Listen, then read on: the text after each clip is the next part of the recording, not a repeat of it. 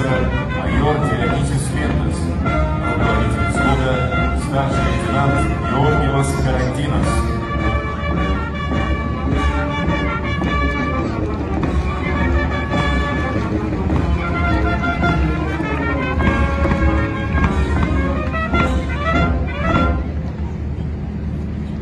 Печальная не только для Греции новость. Закончил земной путь всемирно известный композитор Микис Теодоракис. Но его музыка будет жить долго в наших сердцах.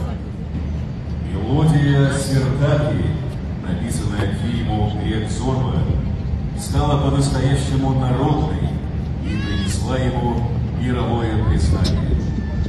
Микис Теодоракис – автор многих известных произведений. Жестокость и гордость, отличающие его творческую манеру, были характерны и для самого автора, гражданина Греции. Сегодняшнее выступление музыканты посвящают композитору.